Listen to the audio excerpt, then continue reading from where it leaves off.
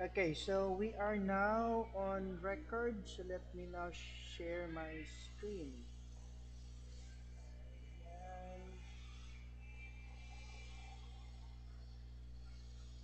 Okay, can you see now my screen? Yes, sir. Yes, sir. Yes, sir. Yes, sir. Yes, sir. Yes, sir. Okay, so I hope Yes, sir. na ang signal is maki makiuyon no sa tuwa kay kagaina naglagot to sige kaputol-putol ang signal. So I hope and I pray na walay distraction sa tuwa discussion ko.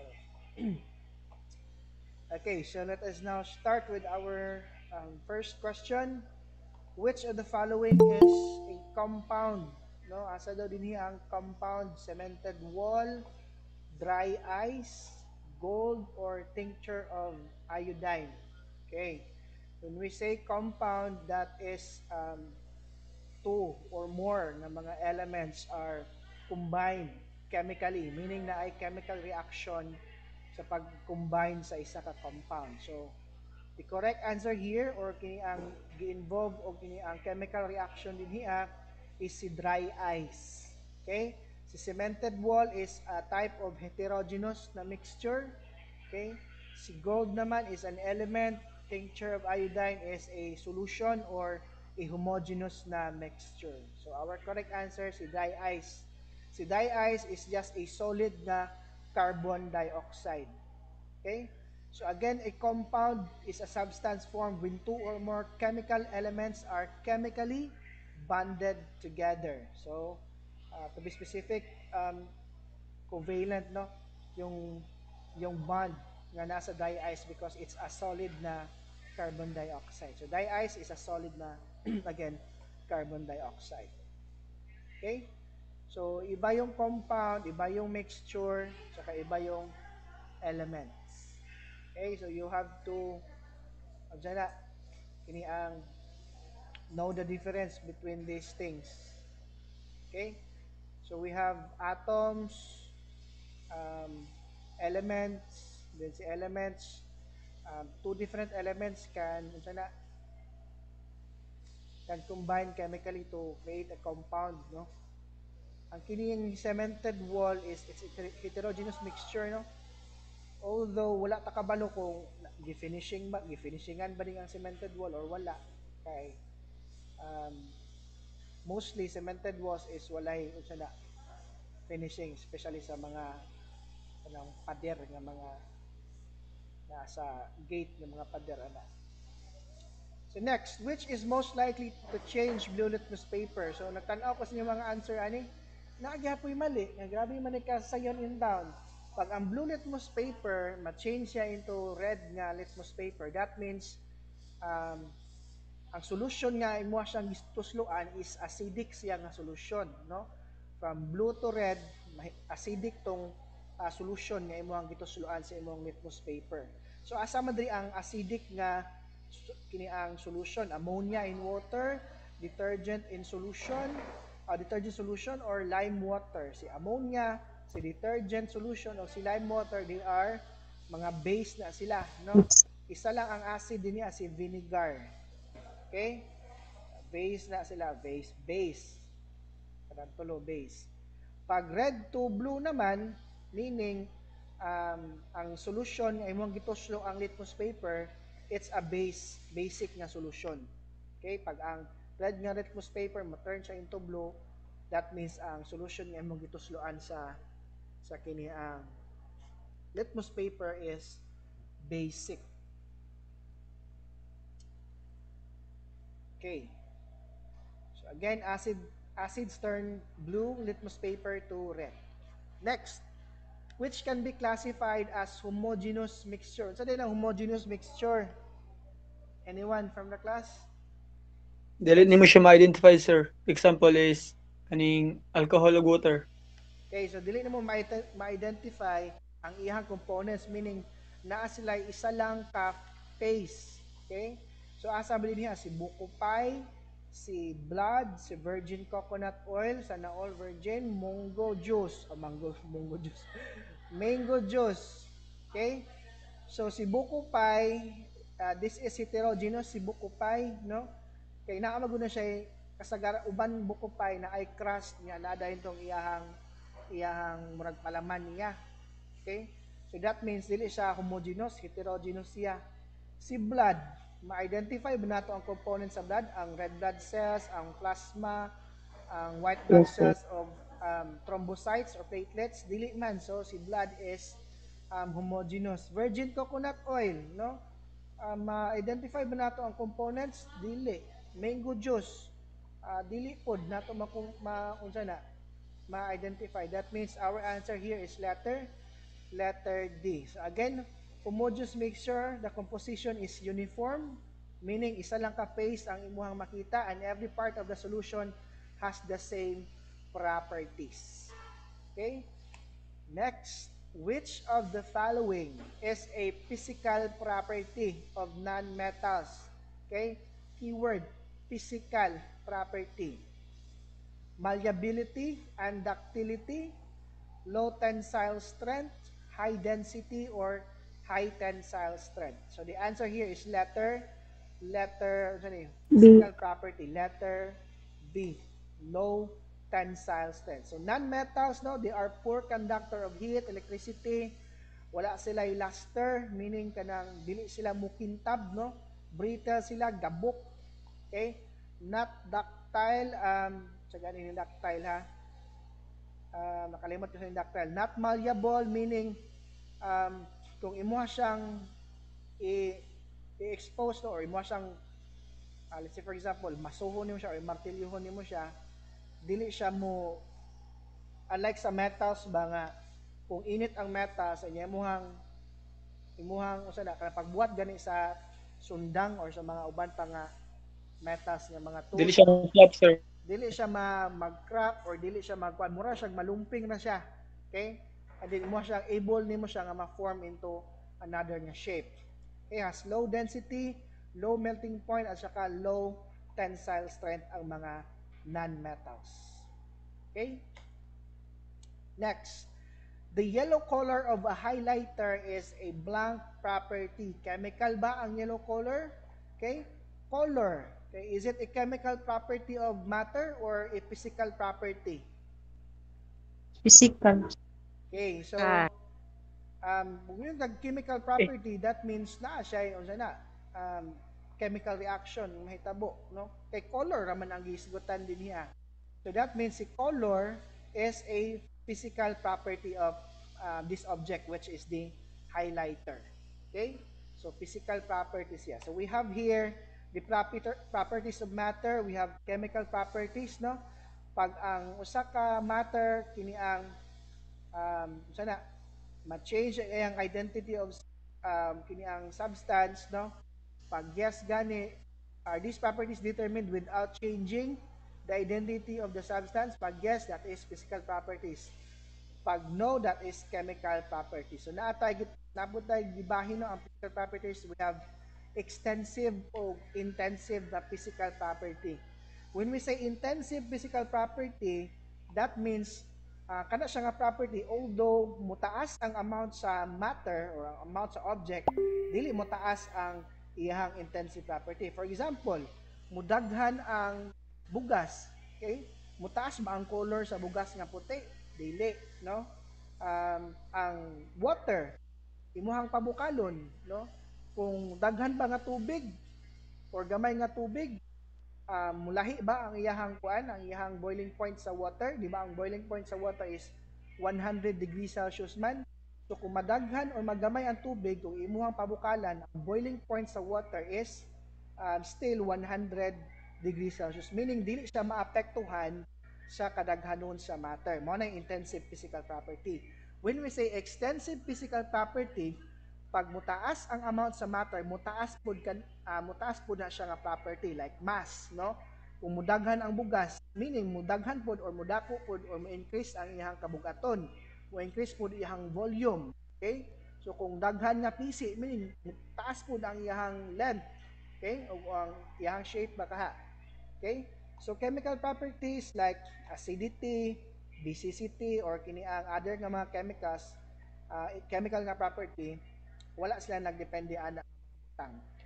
Di nagdepende sila kung naabay chemical reaction, okay? Sa isa ka substance. So we have here examples of intensive and extensive properties. Intensive, we have temperature, boiling point, concentration. Extensive, we have weight, length, at saka volumes. Again, intensive, wala siya nakadepende sa amount sa matter, meaning dili siya maapektuhan kung mudaghan ang amount sa matter. Pag extensive property naman of matter, meaning nakadepende siya sa kadaghanon no? Sa matter like ang mass kato kagaina mudaghan ang bugas ang ang sana ang liso sa bugas muning mutaas pud ang iyahang kabugaton okay? So those are properties physical chemical properties of um, sana matter. Next An odorless and um, colorless matter boils at 100 degrees Celsius and melts at 0 degree Celsius. What inference can be drawn from this observation? Is it a metal ba? Is it a mixture ang ato ang odorless o colorless na matter? Or is it uh, a non-metal ang ato ang odorless or colorless na matter? Or is it a pure substance? Okay? So the correct answer here is letter D, pure substance. So when we say pure substance, um, ang sample of matter ana naa sila'y mga definite ang ilahang um, definite o constant ang ilahang composition. Like this one, definite ang iyahang boiling point o melting point, no? Walay walay unsa na walay kini ang other nga boiling point ani nga odorless o colorless nga matter no 100 degrees Celsius na gyud. So dili siya mo boil kung naa siya sa 90 degrees degrees Celsius or naa siya sa 50 degrees Celsius. Mo mo boil ra gyud siya or magmelt ra gyud siya um, ani nga mga specific na temperature, meaning definite o constant ang ilahang composition. So, um, also ang pure substances, they exhibit well-defined physical nga mga properties.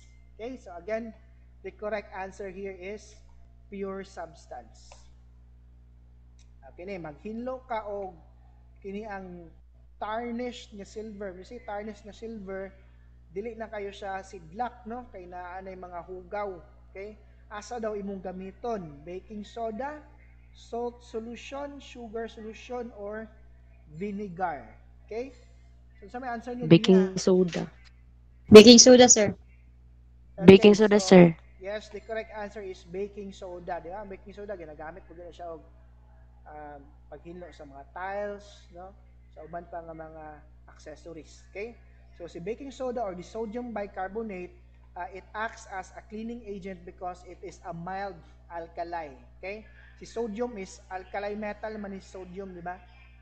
So, it's a mild alkali. So, ang mga alkali is pwede sila pang hinlo or kiniyang uh, we can use them as a cleaning agent. So, uh, baking sodas can cause dirt and grease to dissolve easily in water. So, katong mga mga mantikaon, nung hugaw kayo, no, dali na siya tanggalon sa baking soda because of its um, a property nga na siya um, sodium, no, which is an alkali.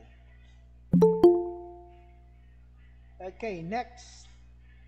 So what will you add to your food to make la- to make it last longer? Baking soda, salt solution, tomato, vinegar. Na ay nag-answer ani salt solution. Okay? Um, basi nagkuan siya himuog bulad. himuog bulad ng isda. Taghanon og asin karon dili ma dili madaot ang pagkaon. Okay? So the correct answer here is vinegar, no? Mao gani kung mag-adobo ta, butangan yun nagsuka karon pagkaugma dili mapanos, no? Kay si vinegar, di ba acid ba ni si vinegar? So ang acidity nga naa sa vinegar, mo to siya mag-prevent sa mga unsa ni uh, microorganisms nga mag mag-form or kini ang mag-grow sa sa pagkaon. Okay? So vinegar is acidic. It would significantly retard or prevent the growth of bacteria that cause food spoilage, no? Kita na ba mo inununan nga nabahaw dayon pagkahapon? Ang paksiw ba?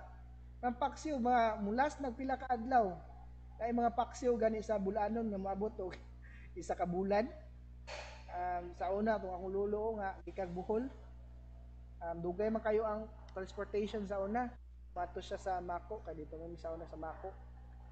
Mga, magpaksin na siya daan dito ang kuan, mga, siya na, kanang mga squido ba, kaya daghan mag squido dito ah. Paksiunan niya dito ah niya. Pag abot sa diri ah, sa Mindanao, wa pa gyapon na daot. It's because of the vinegar. Okay? So again, si vinegar, it's because of it, its acidity, mo ito'y maka-prevent sa mga bacteria nga mag-grow or kini ang mag-multiply sa pagkaon. Okay, so again, butang kag ah, suka gamay sa imuhang adobo para dugay mapanos. Next, why is it not advisable to drink soft drinks on an empty stomach? Okay? So, ngano man, nganong dili mata dili man advisable nga mo inom ta og soft drinks kung wala pa tay kaon? Ngano man Increase acidity, sir. It increases the acidity of your stomach po. Okay. Makapukabol, sir, sir. So uh, as what we have discussed no in your microbiology no? Um, microbiology ba to or anatomy? Murag anatomy to siya. No nga sa ato ang stomach is naiga produce og mga um, acid no? Para ipatay sa mga bacteria nga dili sila mudaghan og maayo. So acidic na daan nato ang stomach. Unya um, wala pa gyud tay kaon nya wayon tag soft drinks musamot siya og acidic nga atong stomach. Mo na nga maglain na nga to ang tiyan usahay kung mo inom tag soft drinks nya wala pa tay kaon. So the correct answer here is it increases the acidity of your stomach. Okay? Dili na makahimo nga mabusog kag dali no? Dili po na makawala sa imong gana mo kaon. Okay? Dili po na makakos og kalipong or dizziness. So, makakos yaw increase sa acidity sa imuhang stomach. Next. Okay. Uh, dirian ha, po yung uban, wa gihapon kabalo nga pang high school ra man yung taon nga question ay almost the entire mass of an atom is concentrated in the blank sa electron, sa neutron, sa proton, or sa nucleus. Unsay answer ninyo? Leo. Nucleus. Nucleus, sir. Uban, nag-answer proton. Yung uban, answer electron. Okay? So, yung mass ng isang atom is just the sum of the number of protons and the number of neutrons nga naa sa atom. So, si proton o si neutron, usually, or hindi usually, naayod siya permente sa center sa atom, no? Ang duha kining neutron o proton. So, ang tawag sa center sa atom is what we call the nucleus. Okay, it includes the neutrons at saka the protons of an atom. Again, ang mass number no or ang mass sa isa ka atom is the sum of the number of protons at the number of at saka number of neutrons. Okay? So wala gi appeal ang kini ang mass ni electrons because ang mass ni electrons is very small, no? Dili siya makaapekto, ah, dili kay siya makaapekto. Di jud kay tungod sa kagamay sa iyang mass. Okay? So we have here the nucleus, no? Kining naa sa tunga, we have the neutron which is a neutral nga um, subatomic nga particle. We have the proton o sub which is a positively charged nga particle. And then we have in our um, sa shell ng ating atoms is our dili our is the the electrons of the atoms, no? Naka-orbit ang mga electrons sa atoms. Okay, so again, mass number is the sum of the number of protons and the number of neutrons in an atom or sa isa ka element. Okay? So let's talk muna about the structure of atom. Ayan. So an atom is the smallest possible amount of matter which still retains its identity as a chemical element consisting of a nucleus surrounded by electrons. So si atom is the building blocks of matter. Ayan. So as we can see here, we have here the molecule of water. It consists of duha ka atoms of hydrogen at saka one atom of oxygen. Muna gitawag siya H2O because na ay duha ka hydrogen, isa ka oxygen. Okay? So as what I have mentioned kanina, we have atomic particles, the um, the neutron, the protons, at saka the electrons. Okay? So atoms consist of three basic particles, si protons, electrons, at saka si neutrons. Kana sila. And the yung protons at saka yung neutrons, they have approximately the same mass about um, 1.67 by 10 raised to the power of negative 24 grams. Okay? So again, ang kini ang mass aning um, sana ah, ang mass aning isa ka atomic mass is equivalent to 1 Dalton. Okay? Ang atomic mass unit or ang isa ka atomic mass sa isa ka atom is equivalent to 1 Dalton. So, 1 atomic mass unit is equivalent to 1 Dalton. Okay? So, ang ang usa na 1 Dalton is equivalent to 1.67 by 10 raised to the power of negative 24 grams. Mo na siya ang equivalent sa 1 Dalton or sa 1 atomic mass unit. Okay? So the number of neutrons in an atom contributes significantly to its mass but not to its charge. Kay walay charge si neutrons. Mo kita ko siya neutrons is because neutral ang iyahang charge. Okay, wala sa charge. So electrons are much smaller in mass than protons, weighing only 9.11 by 10 raised to the power of negative 28 grams. That is about okay, that is about 1 over 1800 of an atomic mass unit. Okay? So si electrons, siya ang makakontribute sa um, charge sa isa ka atom no kasi electrons uh, negatively charged man siya nga particle. Okay? So as each electron has negative charge equal to the positive charge of proton. So isa neutral nga atom, no, ang number of proton o ang number sa electrons is the same lang. Wala gitawag siya neutral nga atom. Pero kung mayon ka nga ions na siya, that means dili the same ang number sa iyang electrons of um, protons. Manang nakay makita nga um, positive o negative charge nga or sign sa kini ang sa isa ka element. Okay? So again, in an uncharged or neutral nga atom, the number of electrons orbiting the nucleus is equal to the number of protons inside the nucleus. So si protons is positive, si electrons is negative, no? Positive plus negative, uh, mag mag sila, mag-cancel each other. Gawas lang kung mas daghan si protons, that means mahimo siyang positively charged nga ion. Pag daghan po si electrons, mahimo siyang negatively charged nga ion. Okay? So as you can see here, uh, this is the um, saan siya nga atom na ay duha ka protons, duha ka neutrons, ug duha ka electrons. Helium, sir. Okay, very good. This is helium, no? Um, atomic number ni helium is 2. Kaya ang atomic number is equivalent to the number of protons man. Okay? So in this atom, the positive and negative charge uh, charges cancel each other out, leading to an atom with no net nga charge. So wala siya net nga charge. Okay? So kung naay net nga charge, that means it's already an ion na. Ion. Okay? Um, remember this one, proton, iyahang charge positive. Um, iyahang mass is one um, one atomic ni mass unit or one dalton no um, found in the nucleus si neutron is walay charge. Mass niya is 1 AMU na mo sa nucleus electron negative ang iyang charge. Wala siya mass. Tsaka although na siya mass pero wala siya gi-consider nga um, maka-contribute sa atomic mass. Makita ang electron sa orbitals or sa shells sa isa ka atom. Okay? So again one atomic unit no? Or one atom one atomic mass unit or one dalton is 1.67 by 10 raised to the power of negative 24 Now, ano ba yung kaibahan ng atomic number at saka uh, mass number? So what I have said kanina, ang atomic number is equivalent to the number of protons in an atom. So kung pila iyang protons, mo to iyang atomic number. Si mass number naman is the sum of the number of protons at saka number of neutrons in an atom. Mo na siya mass number. Okay? Lahi si mass number, lahi po si atomic na mass. Okay? So may kalahian ni mass number o si atomic mass. Again, si mass number is just the sum of the number of protons at saka the number of neutrons. Si atomic mass, the same. No?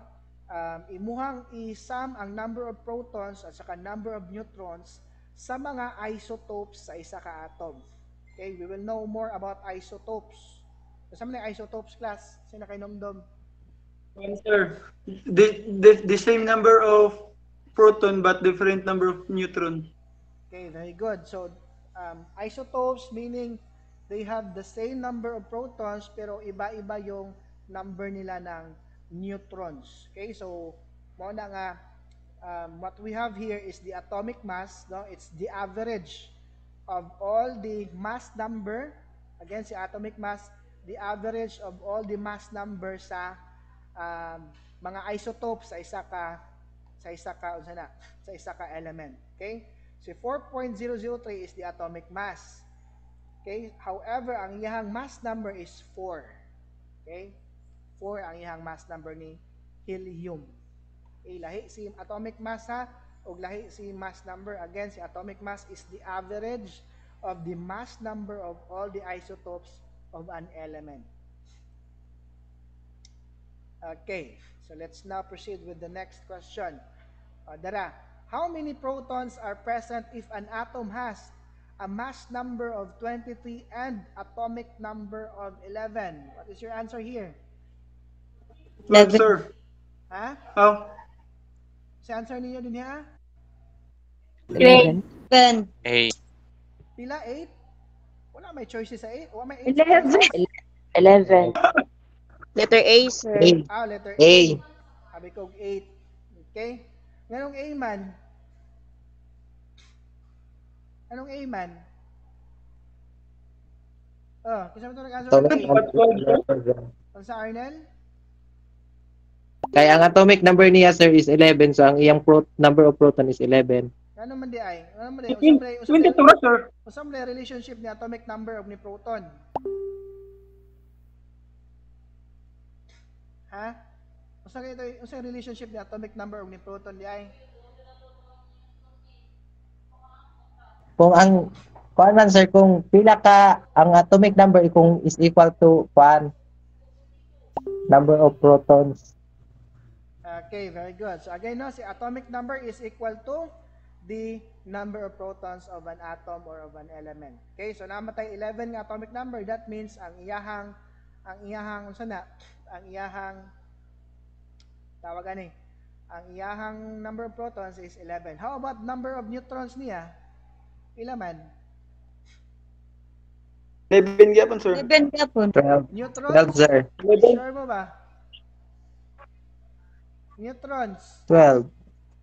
12 na. Ito 12, sir. 11. 11 lagi, sir. Sure, Jumari. oy. Neutrons. Okay, again ha, si mass number, meaning, si mass number is the sum of protons and electrons. So, meaning natin, mass number nga 23, okay, minusan na itong 11, kay 11 man ganito, sir? protons, meaning 12 ang iyahang neutrons. Okay. Ah. Kuha, ana ra. Pila iyahang electrons? Pila may electrons ani? Hmm. Ay. Pila ang electrons? sir. Pila ah? 11, sir. Anong 11 man? Anong 11 man? Lugi lang mo katubag. Anong 11 man? Sa may basihan ninyo? Ano, wala na akong signal.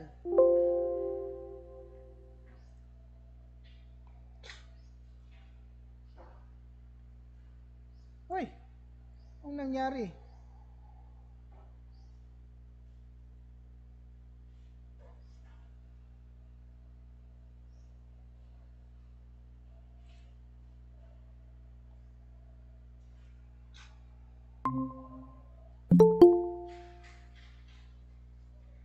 Ogoy, kinsay co-host nga nag-end sa meeting.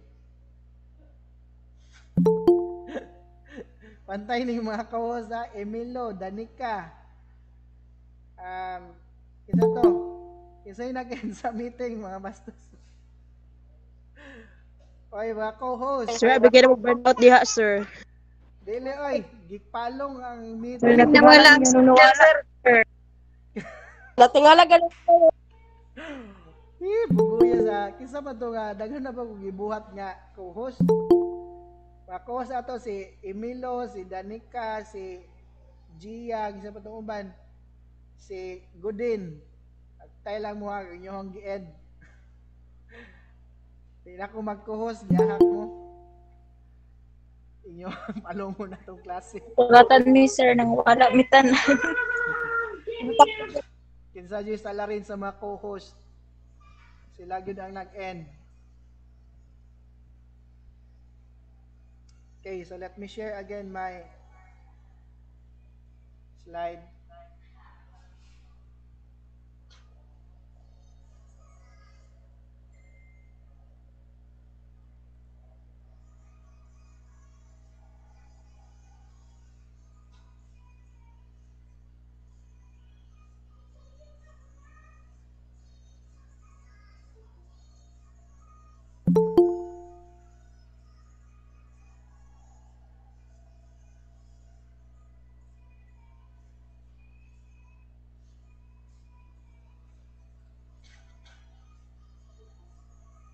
So let's go back. Daghan kayo sa kita. Kuan. Again, pila tong iyahang electrons? 11? Nganong 11 man? Ha? Nganong 11 man? Sa'yo maka-answer? Ay. Sino may maka-answer?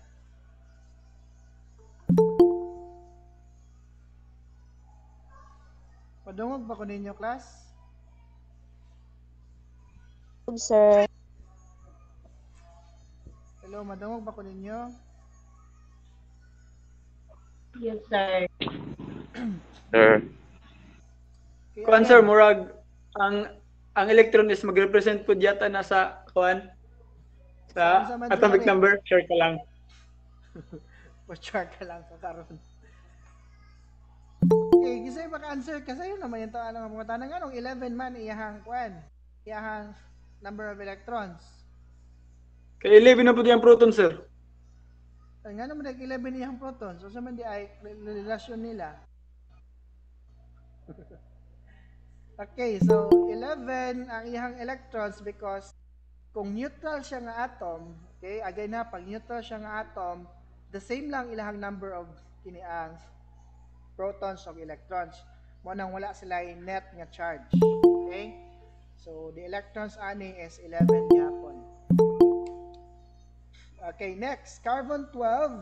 Okay, it's a um, si carbon kay naman siya mga isotopes. So carbon 12 has blank 6 electrons, 6 protons, 6 neutrons, 6 electrons, 12 protons, 6 neutrons, 12 electrons, 6 protons, 6 neutrons, 16 electrons, 6 protons, or 6 neutrons.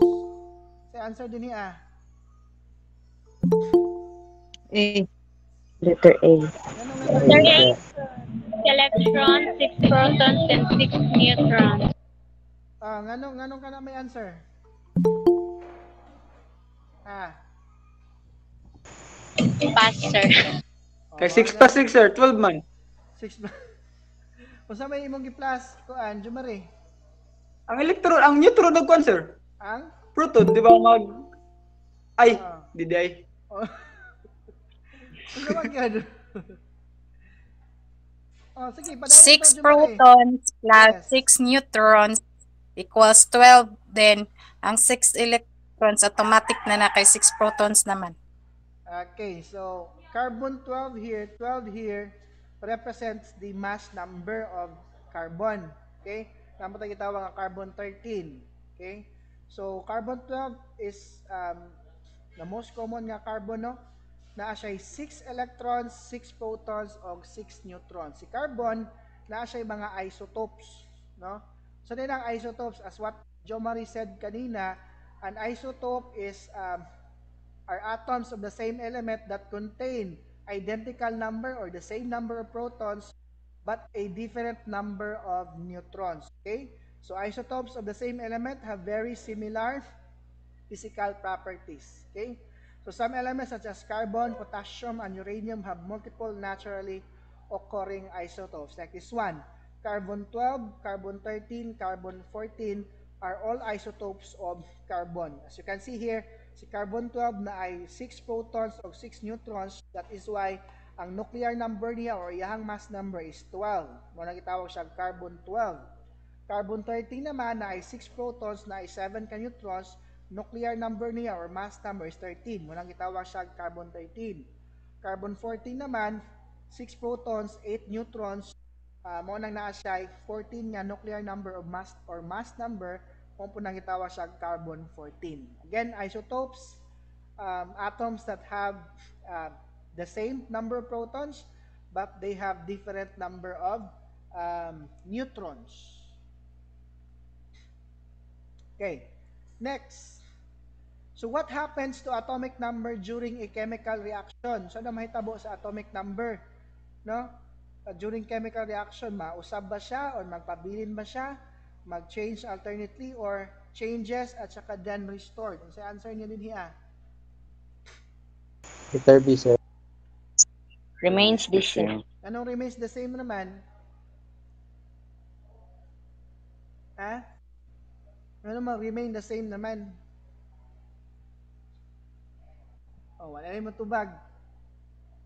O nga, kabalo sa answer, oh, niya, wala kabalo on sa explanation. Anong remains the same? Okay, so remember again, si atomic number, sa ganito siya, is the number equivalent to the number of Proton. Proton. Okay, number of protons. For example, um, say for example, we have here hydrogen. Okay? Isa ka proton. Ina siya electron po isa. Diba? Ana na siya. And then we have also um, oxygen. Pila ang na or hydrogen lang bagi hapon. So ang hydrogen example, erase that one na lang, parang pangit. So, hydrogen atom ha is isa. For example, naatay hydrogen nga molecule. Okay? That is the first nga hydrogen nga atom. And then we also have here um, second nga hydrogen nga atom. Ayan. So, let's have naman kayo na, pakipalong. So, na ay electrons here, electrons here. Sigwa na.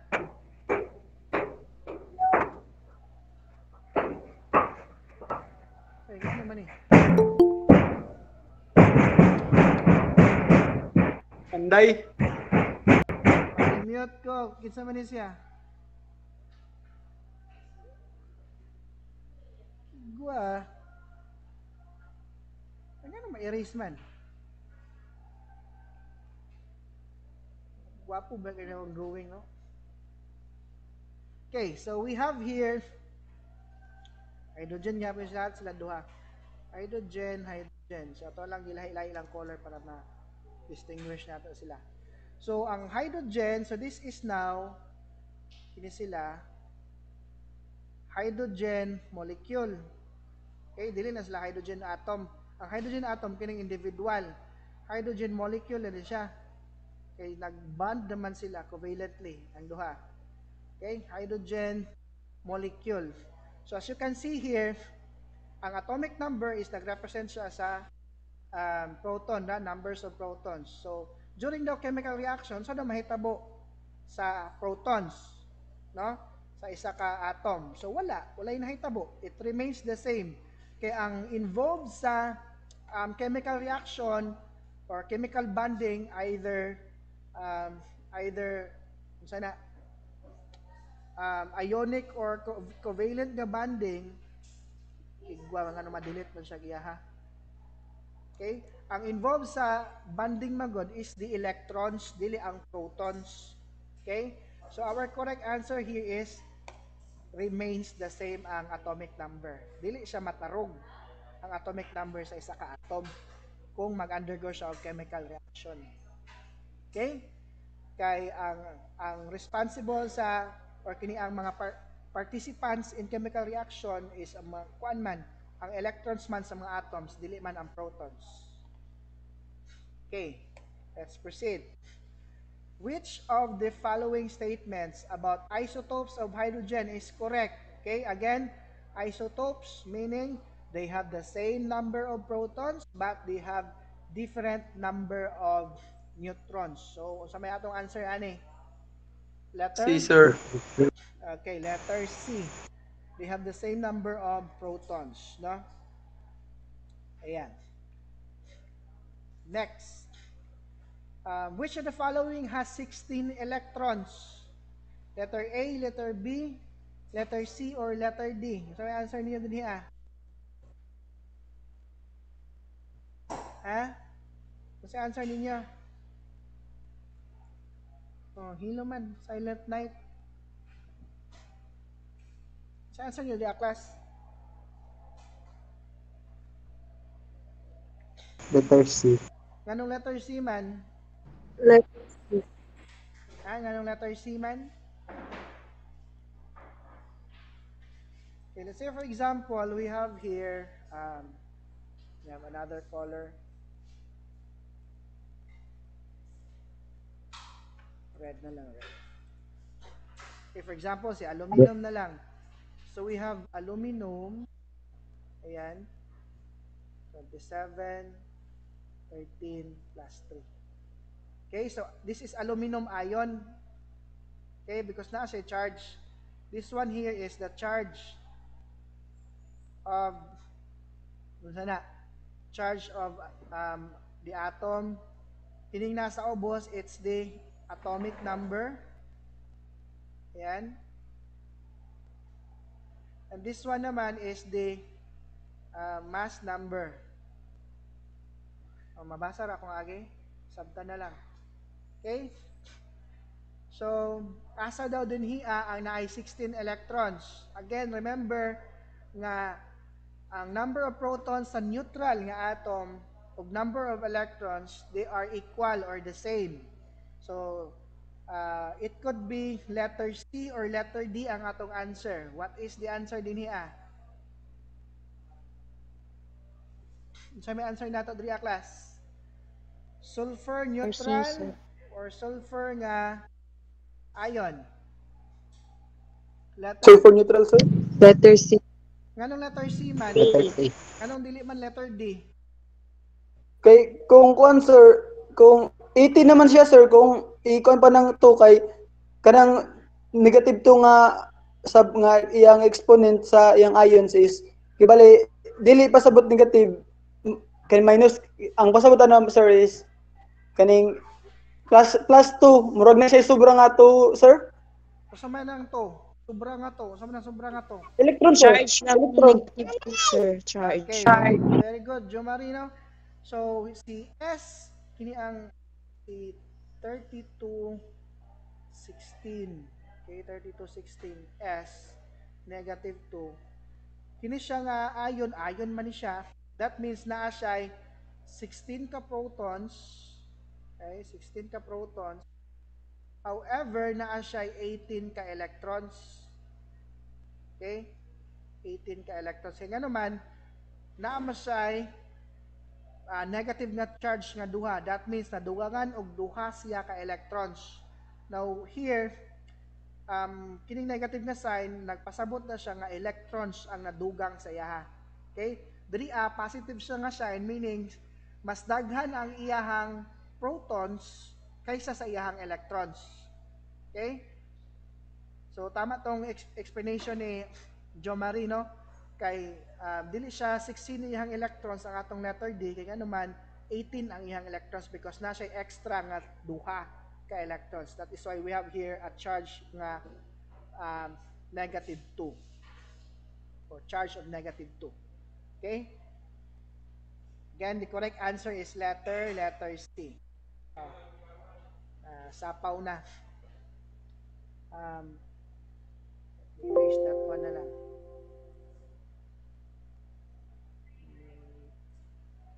Pag-immune lang natin eh. Ayun.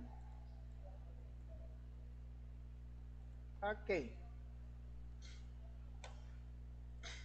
Okay, so again, um, a convenient way of writing the numbers that describe an atom, no? um, ang atomic number is i-subscript siya sa imuhang sa iyahang sana atomic symbol or atomic sign.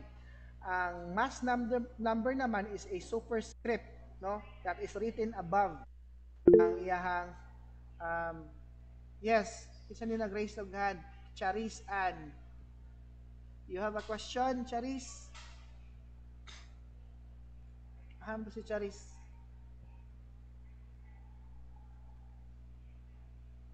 Miss Noha, do you have a question? O, di dahil mo tingog. Miss Noha, i-absent ka mo, Miss Noha, kung di ka mo tingog, i-absent ka. Meaning, naalala kay duha ka absinan. Sir, sir? Ah, you have raised your hand. You Joke to sir. Okay, joke. So, we are not in the joke phase pa. Wala pa man ta nag-joke-joke karon. Nag-describe man ta o nag-discuss. Okay? There is a time for everything. Time for joke, a time for discussion, a time for ano sana. Okay? So, you have to read the environment. Okay, next time, Noah, ha?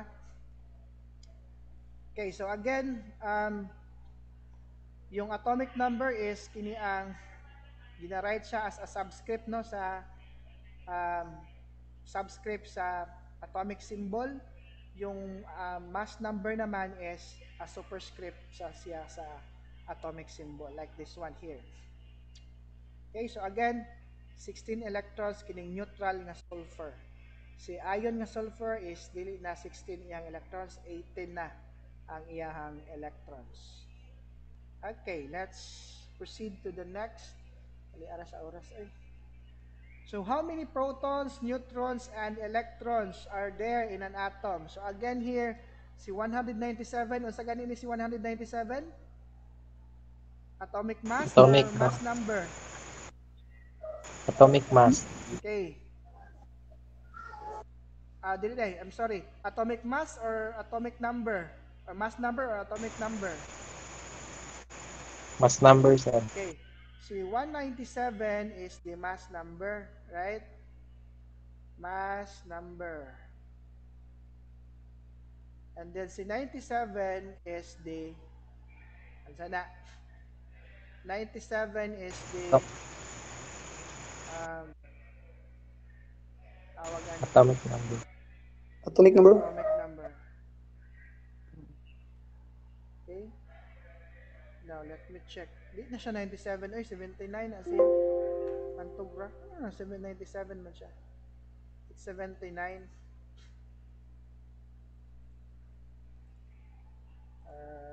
Okay. Di na siya 97. 79. Sorry. 79.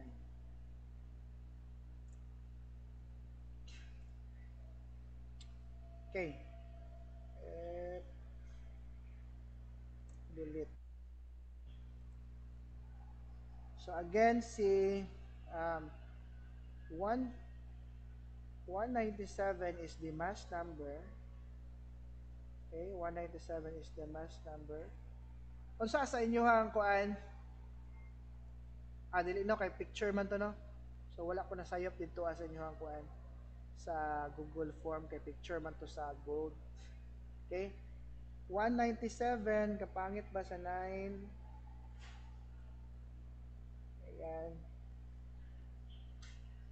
So we have here 197 is the mass number sa gold. And then we have the 79 which is the um, number of protons.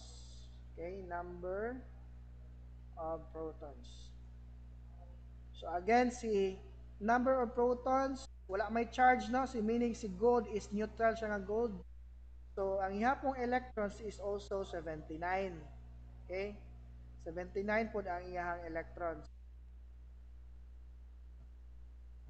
So ang ihang neutrons pila man. So ato lang i-minus si minus nato si 197 sa mass number sa iyahang proton. That is 17 minus 9, that is 8. Um, 8 minus 7, that is 1, 1. So 8 ang iyahang neutron. Ayan. 8, eh, 18. 18 ang iyahang neutrons. Okay? So, asa ato answer din niya? Letter? Yes, sir. Okay, letter Letter A. letter A. Okay, so Letter A. ihang electrons, 79 ihang protons, 118 ang ihang neutrons. Again, si Letter mass A. number ha. Si mass number is the sum of the number of protons at saka number of neutrons. Okay? So, pagkuha sa neutrons, i-minus lang nimo ang protons sa iyahang mass number.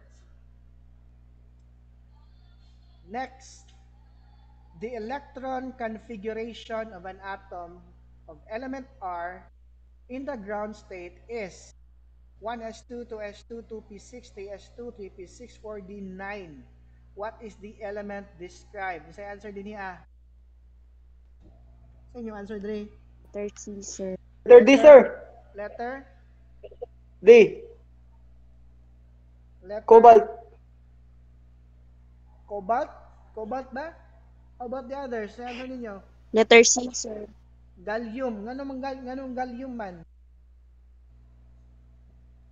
Anong gallium man? Na ay nag-chat si Wilbert Plaza, add power daw. Kung saan man ang klase sa power? Kili-kili power or unsa man?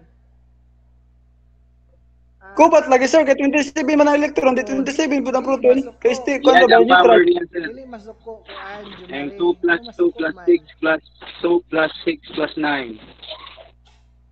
Okay, so again, ang subscript, kung saan itong subscript, kung saan siya nag-represent sa Atomic number Ah, sa proton. Atomic number. Okay? Atomic number.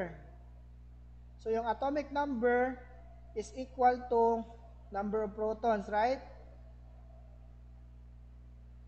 So si protons naman is equal to number of electrons. Ayan. So meaning, ah, si cadmium na po siya 48 electrons. Si bromine na po siya 35 electrons. Si gallium na 31 electrons. Si 27, ah, si 27, si cobalt na po siya um, ano siya na, na po siya um, 27 ka electrons. Um, let me change this one. So again, si, si atomic number um, number equals protons, di ba? Protons naman sa neutral nga atom equals electrons. Okay. So we have here electron configuration. Unsa man ang electron configuration class? Hmm, na-release na nung answer. Kung saan nilang electron configuration? Unsa man na siya? Asa na to si ito nag-answer kayo na si Wilbert, Wilbert Plaza. Asa man ang electron configuration dong? Okay, anyone from the class who knows what is electron configuration? Asa may represent anang electron configuration di ay? Irene Ibaldone, arrangement of electrons. Asa man naka-arrange? Ibaldone. Uh, kindly expound your answer. Asa man rin naka-arrange ang electrons? Ha? Pag, sa may answer ni mo, Ibaldone? Arrangement of electrons. Okay, tama ba ang arrangement of electrons siya? Sir, distribution of electrons, sir, size sa ka-atom, sir. Okay, distribution of electrons sa isa ka atom. Asa man siya gina-distribute? Okay? So, as what I have said kanina nga, ang mga electrons like this one, kining pula nga mga limon din hiya, they are found on the orbitals, no? Or sa mga, um, sana, mga shells. Okay? Yes, that's correct, Novi. Ang electrons, they are found in the shells or sa orbitals sa sa ka-atom. So ang electron configuration, it it describes no kung pila ka ano na, pila ka electrons ang naka-occupy ana nga orbital. Okay? So, 1 here is the energy level. S here is the orbital. Ang, let me write it na lang. So, we have here, let's say for example, 1, tsaka S. Okay? And then 2. So, si 1 here is the energy level. Si S is the orbital. Diba? Naman tayo upat ka orbitals. Basta itong upat na to ka orbitals. Kasi na kayo numdum sa upat na to ka orbitals. SPDF. Okay, si SPDF, no? SPDF. And then si 2 here, ang number of electrons nga naa ang orbital or orbital. Okay? Electrons. Ayan. Okay? So, again, si electron configuration, it describes the distribution or ang number of electrons in each orbital nga iyahang na-occupy. So, nakadepende ang electron configuration sa isa ka atom sa iyahang number of electrons. Okay? So, ang number of electrons is just the sum of all the electrons nga naa sa electron configuration.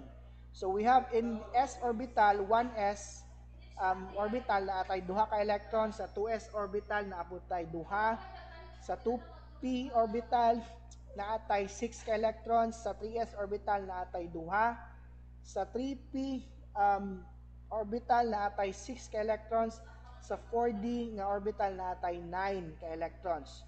So all you need to do para maansira ni is to just add all the electrons nga naa sa electron configuration para ma-identify nimo kung unsa siya nga element. Kaya ang gipangutana, what is the element described man? So all you need to do is to plus 2, plus 2, plus 6, plus 2, plus 6, plus 9. Okay? 2 plus 2, 4, plus 6, that is 10, plus 2, that is 12, plus 6 na pod, 18. Okay? 18. Um, tama ba? 1S2, Yes, sir. 2S2, um, lagi, 4, 6, 10, 12, 18. 18 plus 9, 27. So, ang 27. answer ani tama is the cobalt. Cobalt, ang answer ani, dili, gallium 3. Let me check, be. Kung naabat tayo. Ah, mali ni siya. Dapat na pa ni siya 4S undana, dili siya ning ditso og 4D. Kay 1S, 2S, 2P, 3S, 3P. Kay kadali lang ha atong tanawon. Ang katuang Okay, 1S, oh, dapat lang unta na pa siya 4S pa siya sunod sa 3P. So, na mali. Sagdi na lang, i-bonus na Bonus sir, bonus. bonus na lang niya eh. So mali ang given, no? Sunod sa 3P unta is 4S. No, dili kay ah, 4S ni siya unya 3D dayon, 3D na. Pastor, letan ako sir. Char? sure. Pila ba score nimo? 35 man mo score oh. 47 man ang unsa na passing. Oh, wala layo gihapon Jomari. Better luck next time. So dapat dahil ni siya, dapat 4S um ana 2 ni siya. Agoy. Um, ayan. Ayan. 4S O, nga naman.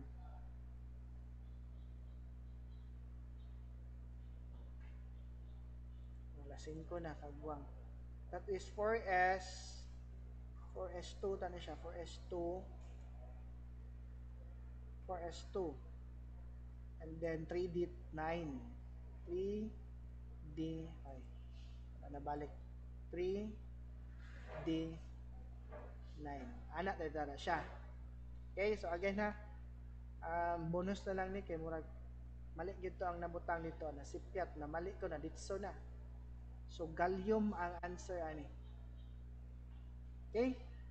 So again all you have to do is to add 2 plus 2 plus 6. Okay, kay mga electrons mo na sila. And then si electrons is equivalent man to number of protons. So, yeah, si number of protons is equivalent man to atomic number o niya atomic number man ang nasa choices nato. So that means kung pila ang electrons mo puto iyahang ah, protons mo puto iyahang number of o iyahang atomic number. Okay? 2 plus 2, 4 plus 6, um, 10 plus 2, 12 plus 6, 18 plus 2, kuwang yapon, 20, 29. Hmm, Kuwang yapon siya. Sa mga tinuod ani nga question. Okay, so we will just retain na lang gallium or cobalt lang ni para sure. Ako ara ning i-check ang kini nga question. So again, ingana lang gihapon, basta ingani nga mga question, ah, ipa-identify ang element, um, i-check lang ninyo ang or ihapon ninyo ang number of number of electrons nga naa sa mga orbitals. Then um, ang problema kung wala gihatag ang atomic number, no? Kung wala ni mga 27, mga 31, nadya yun mo mayawaan. Kay wa mo ka-memorize. wa ta ka-memorize sa atomic number sa kada kada element. Okay? So, we will continue our discussion about electron configuration tomorrow. No? Kung na ay klase tomorrow. Pero murag naaman kay wala may isa na wala may balita balita. Murag Thursday o Friday ra wala klase. So that's it muna for this afternoon. Um, it's already 5:07 no. So we will end our discussion. Uh, may I request everybody to please turn on your cameras, no? Mantog ra nangugat, nangugat si Jumari gaina nga kubat jud daw. Sana all kaon-kaon si Arnel. Bato na, nangugat yun si Jumari kaya kubat lagi sir kang 127 ang Sam. Okay, turn on your cameras, be. Tanawa ko sa mga dagway. Okay, kisa man yung nag-chat.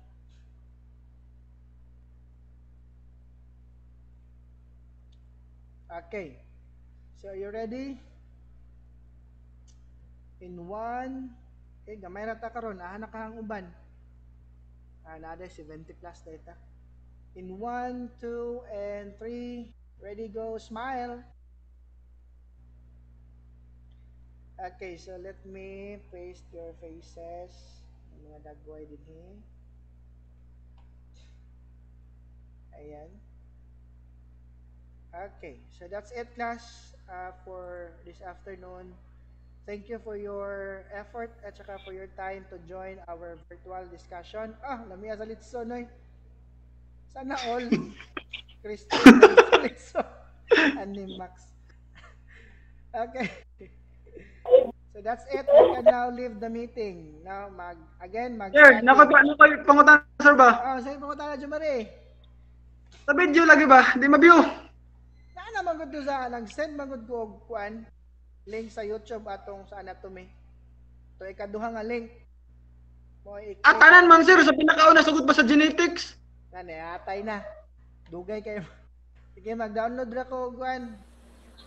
Ang uban ni download na ako sa YouTube. Dugay man gud baka download sa YouTube og oh, download baka upload. Bitaw sir kay review mo mo sa Ma dugay mo, dugay niyo makita pag sa drive. Grabe ka loading sir. Yes, sir. Nang delete naman ako. Gid makita sir. Wala na nun kayo makuan, sir. Char. Mao ba? Mao ba Jumari? Okay, so na-delete naman ako Plastic doon. Jumari. Ang ato, ana, Ayaw, ana, love ka. Ikaw na sumad ako naging anaw eh. ang anatomy naman to yung wala na delete. So part 1 na lang sa anatomy ang nabilin. Delete na ko kay mapuno man akong laptop. Mapuno ang storage. Okay, so gato lang uh, paningkamutan ako nga ma unsa na ma retrieve tong na-delete na ko nga mga videos. Sige sir, thank you. God bless. PowerPoint lang palihog, sir. Thank you, sir. Cherry? Thank you, sir. Thank you sir. Oh, mag-study Thank you na. sir. Holy Week, pero walay Holy Week, Holy Week. Pag-study mo, kung di mo ma-post inyong dagway. Salamat kay sir. Okay, so katong mga napos ang dagway dili lang malain no kay hagit man guna sa inyo ah. kibali murag hagit ba nga mag Na-curious ang dili ni mo friend, sir. ah, Yeah, sir. Kap Sir, wala ko kita, sir. oh, Gipili ni mo akong bagong atong gipang senda nga picture, sir. Kapag tanay mong gipikuan, pili. ayaw kay maklaro ang uban mandamay pud kas uban ha? Nalagi ka Jumari din. sige na yo kan Sir, wala mi kita, pa mo kita ah. Sagdi lang wa mo kita. Maayo no di mo masakitan nga. Naapil di ay mo or wala. Sir, anad na may masakitan, oy. char. Sana all manhid na. Sige na you can now leave the meeting. Kay para- Bye, sir. bye bye Bye, sir. Bye bye